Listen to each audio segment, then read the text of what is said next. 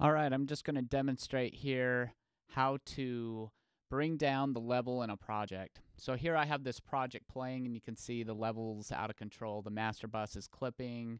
A lot of these faders are way too high to be mixing with and the level of everything just needs to be brought down to a controllable level. So the way that I'll go about doing that is I will go through and I, first of all I want to create a group and I what I want to include in this group are any tracks that are instrument or audio tracks. I don't want to include buses because I don't want to be bringing down the level of the buses. I like to keep those set at zero on my effects. And um, if any of these tracks are routed through buses, if I bring down the bus along with the tracks, then I'm going to be bringing down the level twice on them. So I just want to select the the individual tracks that have the audio audio or the MIDI on them. And so I'm going to go through and highlight these. I'm holding down command to add all these individual tracks. And you can also hold down shift and select a large group. I'm kind of going the long way here. But nevertheless, once I've got them all selected, then I can create a group by showing my groups and Command G will also do this, but um, you can find it on the drop down menu on groups. Select new groups, and I'm going to call this bring level down.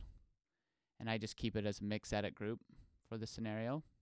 Press OK. Now, what you don't want to do, it's easy to now just go ahead and jump ahead and pull the faders down and think that you've got it taken care of. But you can see since I have automation written here, the second I hit play, my automation tracks jump back up to where they need to be.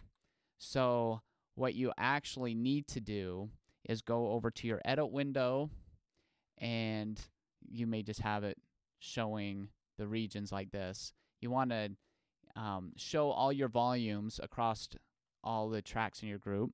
And I do this by pressing Control, Option, Command, and then clicking in the volume area. When you do that, that'll switch everything to their volumes view.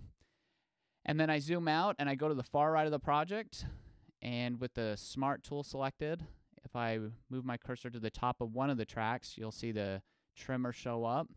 And I will drag down. And in this case, I go down a generous amount.